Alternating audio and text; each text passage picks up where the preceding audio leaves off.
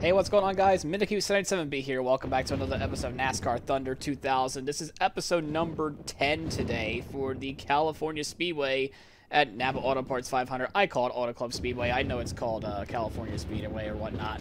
But right away, you can see we're back to the normal car or whatnot. We're going to be... It's... well, let's go assign the sponsors, actually, because uh, they're pretty much going to be the same. Uh, finish in 35th place. Uh, that's not happening. Average finish in 40th place. We're gonna be. Uh, I'm trying trying to get more towards the guaranteed income side. Like, yeah, I I can see that the average finish is in 35th place. I did check. I am somehow like having an average starting finish of 33rd, but that doesn't mean that's gonna last for long because it's not like Thunder 04 where you know, this would be considered, this income here would be considered a bonus income. No, because in Thunder 04, you have like a guaranteed income, like income per race, plus whatever you get for this when it comes to like the bonus income. So, in order for only for you to get paid in Thunder 03, you actually need to actually do this expectation, which, yeah, it's going to be fine for like the first race or maybe the second race, but races 3 through 9, maybe not so much. So we're going to take more of the guaranteed income, because our average finish is about 33rd. It'll take a while for it to get back to the 40th. So we're going to have the passive income, make sure we have a way of getting money. Speaking of a way to get money, um, well, this would be more because we've had killing it in qualifying this season. So we're gonna keep we're gonna keep Craftsman, but this time on the back. So hey, these two swapped. Um, also, as well, finish ahead of Mike Skinner. nope. Remember, this was from uh, like some of this don't like really match in version 1.20 of the of the uh, mod, but at 1.25 it kind of fixes that. He said, we're gonna fix, uh, we're gonna get Delphi on, on board on the associate. I believe for this one, what I paid in my, or I remodeled the sponsorships around, I had Craftsman here for the driver's side. I believe I have Delphi here. I believe so. If I, if I, am pretty sure I did. I'm gonna have to take a look, another look or whatnot. But uh, you'll see that you'll see basically it's going to be the same paint scheme nonetheless. But this time I had a little few tweaks, few tweaks with the uh, paint scheme. So, so we're going to go show you that real quick as well. So I'll see you in a minute. Okay, so of course with the new sponsorship placements, I decided to make it closer to more like with the logos and whatnot with Jerry Nadeau's car anyway. I thought it would make it a nice little touch. Um, what we see now, of course, we have UAW also on the car, just like Jerry Nadeau had in 2002. The UAW Delphi on the car, also on the side. Of course, we got Craftsman in the back now as well, because that kind of basically the sponsors kind of like uh, swap places, actually, believe it or not. So we got Sears on the trunk now as well, because it's Craftsman was owned by Sears at the time. Uh, we got Oakwood Homes on, on the C pillar, and of course on the B pillar. I decided to put the Square D on there as like the other Andy Petree sponsor, of course. Updated the uh, signature font a little bit to make it a little bit uh, more signature-like esque, I would say. My channel logo is still kind of like blah, but that's okay. Um, but yeah, this is the brand new Sears, well, UAW Delphi uh, Sears Craftsman car. That's probably going to be for the next nine races.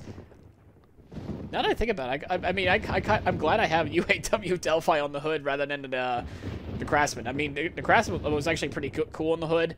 I like the little wrench and the Sears, little Sears icon that's on there, but having to put UAW Delphi, just like the actual Jerry Nadeau car looks also really sick as well, I'm not going to lie.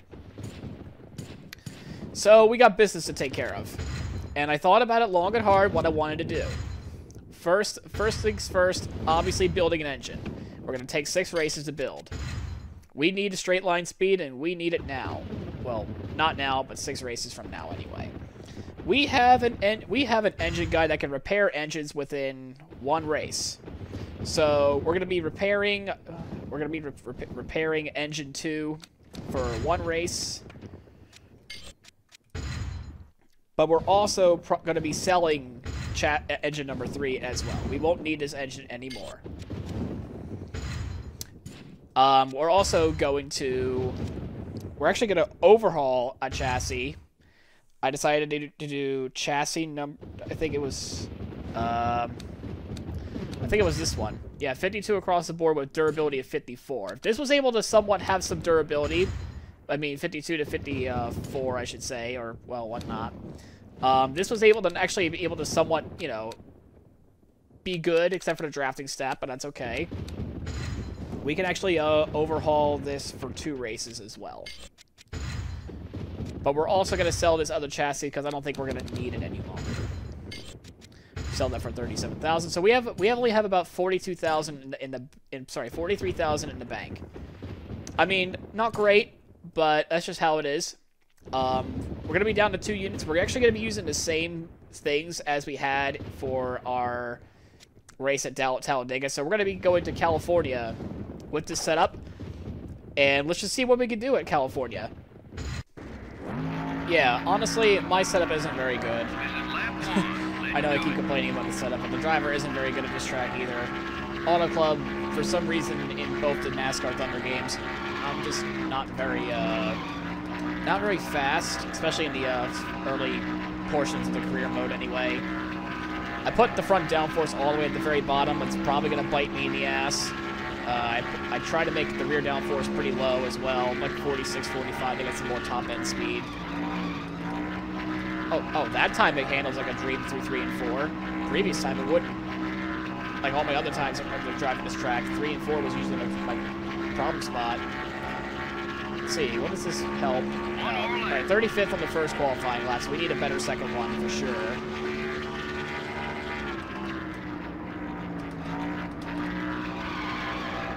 1 and 2 is our main issue. I think 3 and 4 will be okay, as long as I try to do exactly as I did before. That's the first time I ever done something like that, where it just stuck at 164, 165.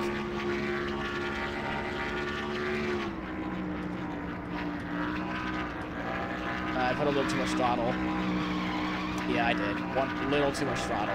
Okay, so what is this lap going to be? We're actually going to go towards the apron here and see if that gives us any anything else. 39.8. Not very good. 31st. We're probably going to finish 43rd. Ooh, our best lap yet. Uh, yeah, this was the downforce. Look, I don't like any of it either way, but... Hmm, I don't, I don't like any of this, but I've been practicing for like 25, 30 minutes trying to come up with something.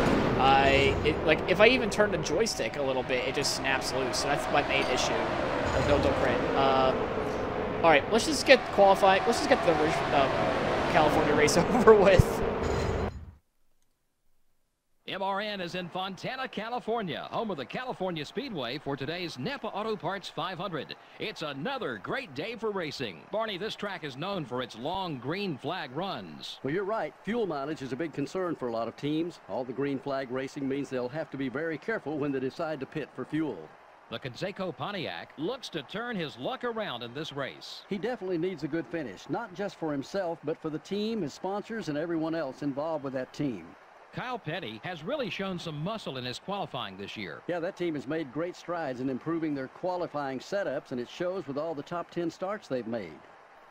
The Delphi car has had some bad luck the last two races. And trust me, it hasn't been for the lack of effort. Those guys have been working hard all season. Maybe they can right the ship with a good finish here.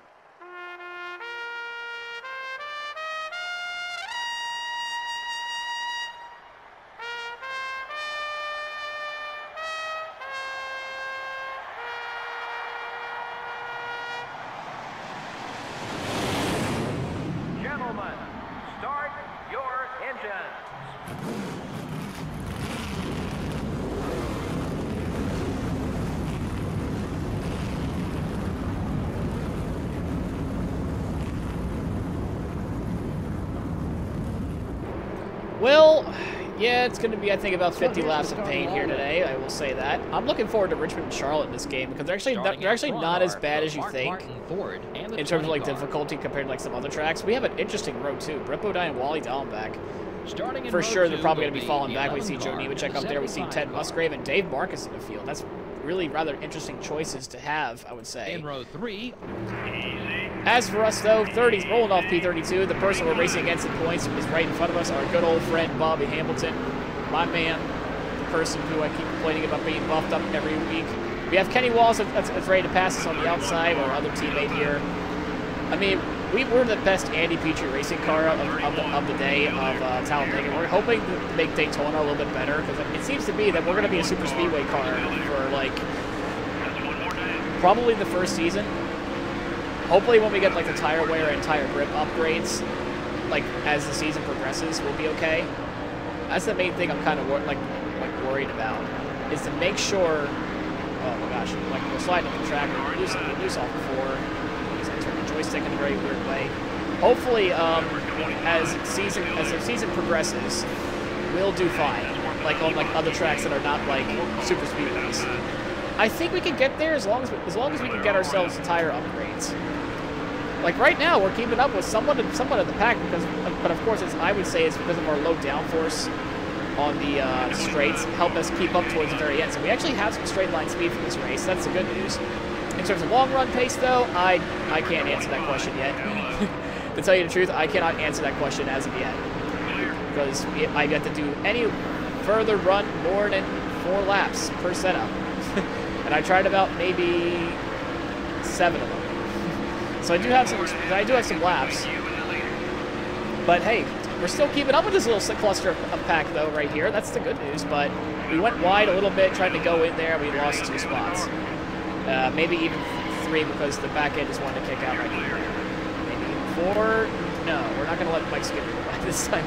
Uh, Kenny Wallace though is, is, is ready to make some moves. Because we might have to let him in at some point. Only him. Oh, he wants to go now. I don't blame you. Oh, Kenny. I saw you get loose right there. That was not that was not exactly what the gray sight to behold. As we're now in 36th place. Thankfully, we did not take the 35th place uh, sponsorship goal there, but we kind of pulled we kind of pulled away a little bit. I'm trying to get back in this draft here with Jimmy Spencer that's right in front of us. We can do fine in corner entry, but corner exit is just not there for us. I'm just trying to hold off my man Bobby Hamilton down down below, but it just ain't helping right now so far.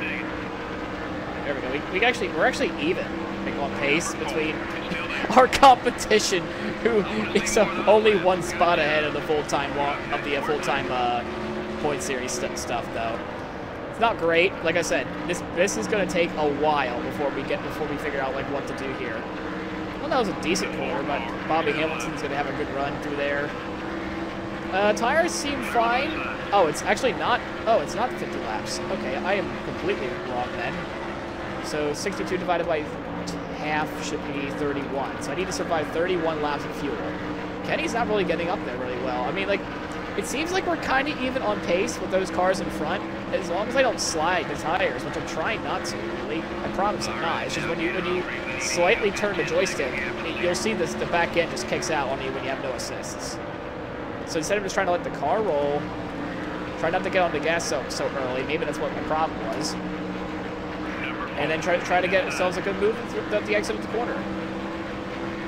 Seems to be working so far. You know what? For for this race standards, you know, and all that's all that jazz. Like the car is, you know, slow, but that's just that's just how it's gonna be. What is Dale Jr. doing back here? I just haven't noticed. Like, we're actually not losing those guys, but we're also not gaining on them either. But I think I know the reason why everyone's being held up there. I think I see old Wally Dallenbach there. We, we started in fourth in this uh, in this race. Um, yeah. How does it feel to have a not so good setup there, Wally?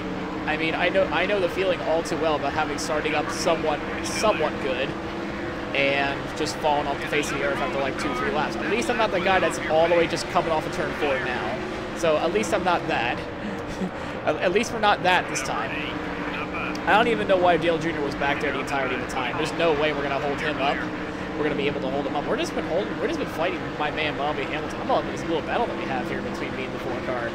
Um, hopefully we can get around the 75 Wally and uh, the others that are up there as well. I think what is that? Mike Skinner up there. I see LePage. I see Dave Blaney. Um, is it is it is it uh, correct for me to say young Dave Blaney rather than young Ryan Blaney? Um, it would have to be someone, right? Anyway, we got Wally Dallenbach in front of us. We're going to try to make, make an easy pass on him. I mean, he's he's calling falling off the face of the earth, as well as LePage. LePage started up pretty pretty far up as well. We had a little bit of contact as well. And a bit, a bit of a rough corner for us off the exit because of a little contact there. No damage, we're all good to go. And uh, we're just still side by side with him. I messed my entry up to three. We're gonna lose both those spots. I messed up my entry as we uh, drift, so we just, that was not a good series of corners. We're gonna have to try to get our best to get those spots back. All right, we caught him up with a three wide maneuver here. It took us a couple laps to get there, but we're gonna be able to go three wide here zing right by these these two cars. And we back up to 36. Hopefully we can keep it off of, off of turn one, turn two this time around. So about 14 laps before tires get worn. That's actually not bad. In fact, we're going to probably lose a spot here with 95, 95, 75. We get a little, bit of a nudge there. Honestly, I've had it. I've had enough. I mean, probably in hindsight, I should have just I should have just raced them a little bit cleaner. They're not gonna get back right up, up, up with this anyway. Um, our goal, of course, is to finish that's not basically last.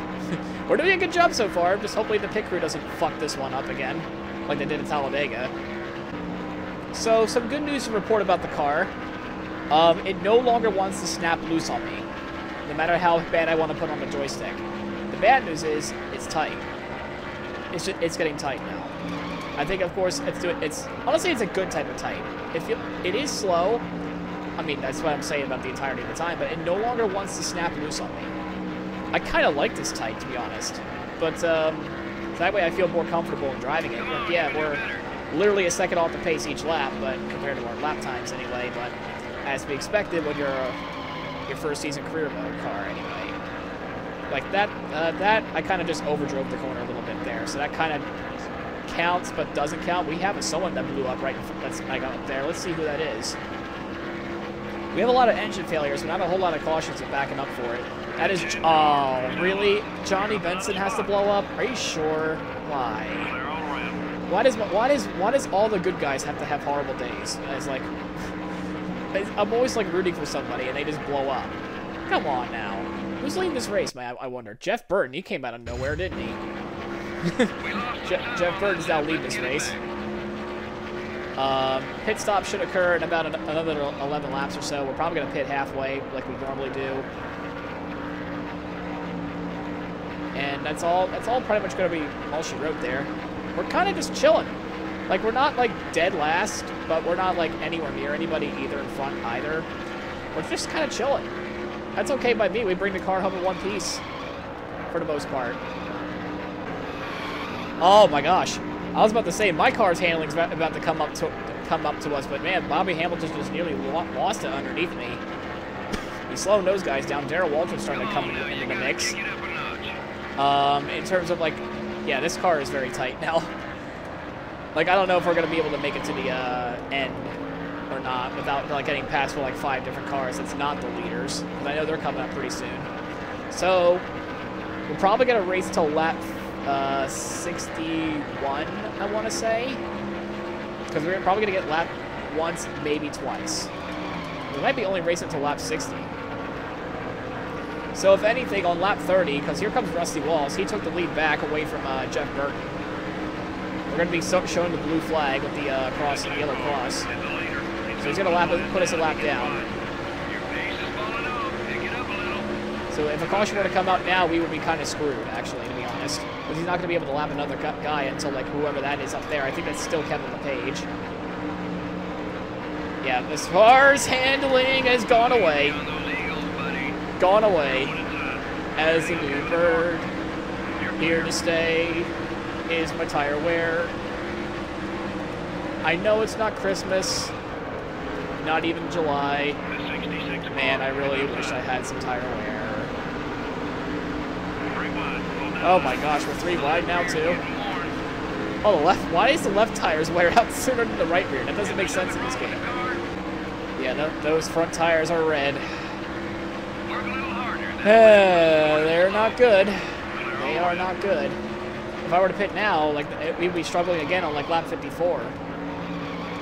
So we, so unfortunately, we have to wait a little while longer until we get back on in pit, road. So the good news is we're not dead last, but the bad news is we're probably going to be slow for like the next uh, stint. Like we're probably going to pit on lap 30 because we're probably going to race till lap 60, and that's okay if we finish two laps down. I am okay with that. Uh, as long as we don't finish like completely dead last, we should be okay. Which I think only one car is out of the race.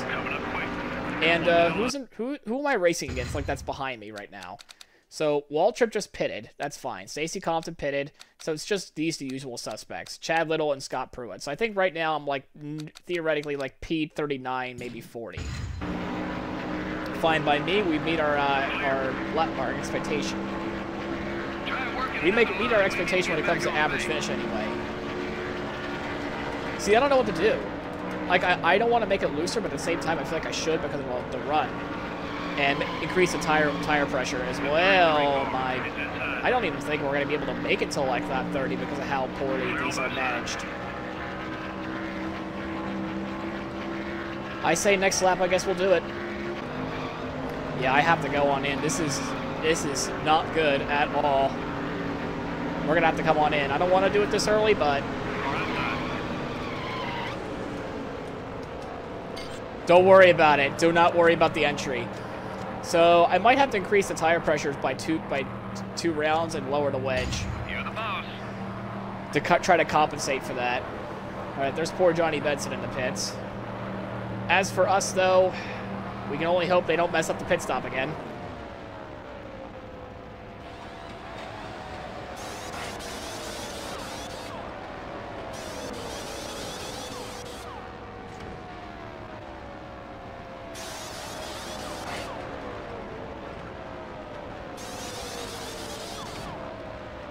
Guys, where the fuck were you at Talladega? That was a good stop. That was like probably the best pit stop of the year. Unfortunately for us, we're now down in P, well, last. But that's okay. The whole field needs to come back down pit road at some point. So we're going to be gaining a lot of time on them each lap. We're only racing until lap 60. Or maybe even 59, depending on how it goes. Oh, look at that. John Andretti's running an actual, like, Richard Petty uh, STP car this time around. I like that. I think this might be the end of the pit cycle. We are 38th. That's uh, that's not great, but not terrible either, as we're trying to get ourselves just to get back in line underneath uh, Bill Elliott, who's trying to help us get pulled in the straights. What little straightaways that we have. In fact, maybe maybe this might be the end. I don't know. Can we pick up one or two more spots? So the seven to 75. Uh, Kenseth is a lap ahead of us. So 37th. 37th as of now. We have 25 laps, I would say, to do it. I think we're two laps down now, so like maybe lap 59 is probably what, what the uh, uh, racing to either lap 60 or lap 59, I think, at this point. We're probably going to get lapped like maybe one or two more times this race. My, my, my hopeful is two, but most likely it's going to be one. All right, let's see how many laps down am I again. I think I saw two. I might be. I'm an idiot. So let's see. No, one. Well, that's not great. So we'll, we'll be. Uh, we'll probably get lapped again, and then maybe one more time afterwards. Uh, not what I want to see when they're right behind me with 20 laps to go. We got got Darrell Waltrip and Bobby Hamilton. Give uh, the old timers some love, some brotherly love there. It back right behind us. I don't know if we're going to be able to hold them off for like these amount of laps, especially especially since our quartering speeds are not great with the looseness like that. Like, yeah, we made, we made it looser, of course. Uh, I tried I tried to him a little side draft again, but we might be able to pass him in the inside of the here. Like, we're only good on the straights, but DW just seems to know how to pull away from us really well. Yeah, holding off these guys is probably not going to happen. Once again, it's our own tire wear that just means our own downfall, especially since the grip is not so good either. I don't even know where um, 40th place is. Um, I think it might be Chad, it might be Scott. I don't even know. At, at this point, what's the what's the use? If they caught up to you so fast like that, what's the point of holding them all up? Besides, I'm hoping to get lapped once or maybe two more times. We're probably going to get lapped in about two laps because I think Rusty's like right there. I don't know where uh, 48th place is, though. If I don't see it, that's okay. That means we're okay. Let's see if we can try to make a pass on Bobby again. Oh my gosh, it's been like me and Bobby Hamilton all race long. Oh boy. Oh boy, there we go. I uh, did what I could. Hey teammate, how you doing? You ready to pass me on the inside? No? Okay, looks like we'll hold up Dale Jr. instead. But you're holding up your brother, though. you're holding up your brother. Because here comes Jeff Burton. You know, believe it or not, Rusty Wallace is the point leader right now, but he has no wins this season, I don't think. So realistically, we have about 10 laps to go. We're in 39th place. We're probably going to lose that because I see Wally behind us. But we're probably not going to give that out without a fight, though. I want to finish, that's, you know, top 40, yes, but I want to finish 39th. I don't care if I have to rough them up a little bit this time.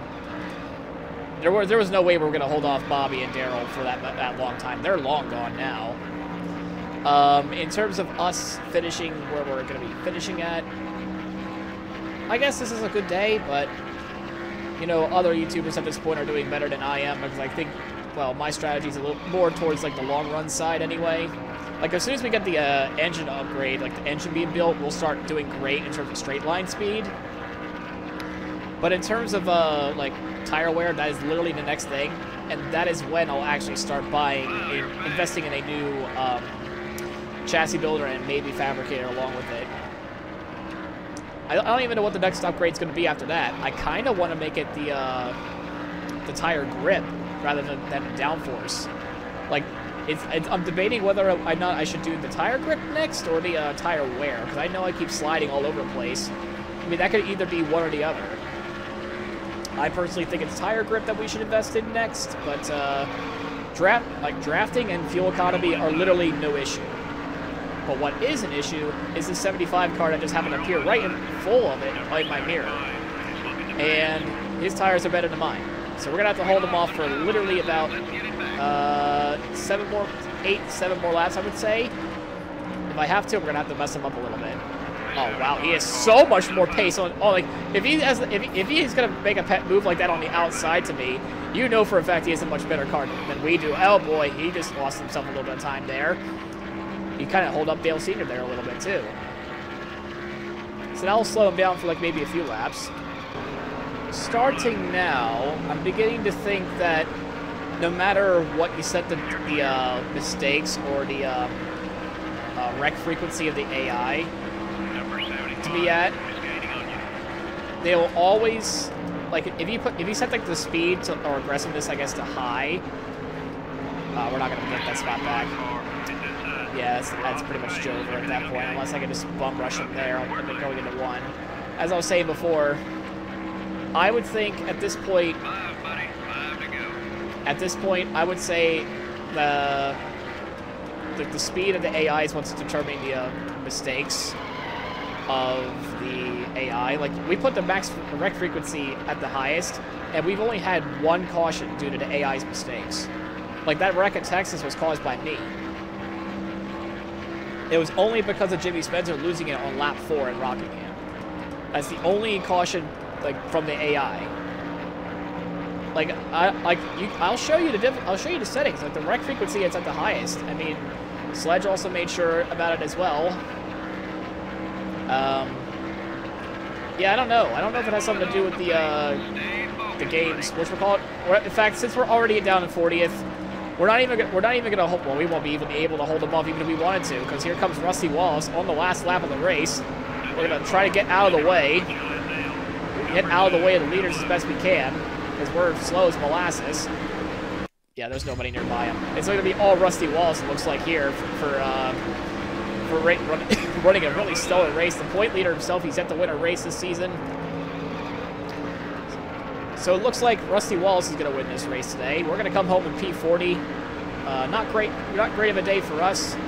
I still think that there's something up with the uh, wreck frequency. We'll get him next time, We'll get him next time, yeah, but at least we're not completely stone dead last, as we finished three laps down today with Rusty Wallace being your winner rare caution-free race. You know, that's pretty amazing. It says a lot about the quality and true talent of these NASCAR Winston Cup drivers. The 56 car would like to have finished a lot better, I'm sure. He stayed in the fight all race long. Things just never quite went his way. This has been NASCAR Winston Cup Racing, brought to you by EA Sports and MRN. We'll see you next week in Richmond.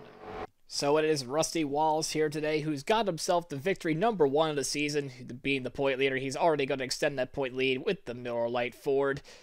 Well, for us, that was not exactly the greatest race in the world, but it's not the worst one either. We actually managed to lap Scott Pruett and laugh at his face again. so there's some positivity there. Richmond's coming up next, but of course we have no chassis, tire grip, or wear to help us out there. We do have a, a new engine, well, repaired engine anyway, because we can actually repair an engine each race. We don't have to worry too much on straight line speed, so that's that's good news there. Um, yeah, uh, we're, we're gonna have to show you like what is going on with like the the AI difficulty. Of course, I, I'm not sure what to say about that, but Rusty Wallace though, he could clearly celebrate. Well, we got some sponsorship income. That's oh, that's honestly what it really matters to is to make sure that we get the sponsorship income. As we as we saw, we have Rusty Wallace and Jeff Burton finishes one and two. Tony Stewart finishes in third. Ricky Rudd fourth. Dale Jarrett fifth. Labonte in sixth, Jeff Gordon seventh, Mark Martin eighth, Dale Senior ninth, and Sterling Marlin rounds out the top ten. Our teammate just finishes outside the top ten, and Kenny Wallace, who who started really far in the back back of the pack, he finishes up in nineteenth. As for us, though, we're not we did not do very well. I was really hoping for more cautions to be caused by the AI at this point, but it just doesn't seem to happen. Like it's kind of disappointing. More on me didn't get a chance to really show you this because, well, I hit the stop recording button, so this is literally the third video clip I had to use just for this video, just to show you that, yeah, the speed is at the max, the wreck frequency is at the max, the resonance is at the max, defensiveness is at the max, pit strategy is at the max, and mistakes are at the max, so, I don't know. I mean, like, when I play, when I set it down to rookie difficulty, um, they, they appeared, like, when I do, like, my little, like, you know, like, the little races I do for, where I just take a driver, go to the victory lane like you saw there, just right then and there, um, yeah, they said they tend to make more mistakes. So I'm not sure. Like like even the like the speed would be would be off, aggressiveness would be off, defensiveness would be off, and pit strategy would also be off. But the mistakes and wreck frequency would be the same. So that's just something interesting, I guess. I just haven't noticing. Does it suck trying to rely on the AI to actually have some uh some wrecks? Uh, kinda. But I'd rather not be the one that actually causes it themselves, or at least I'll try not to.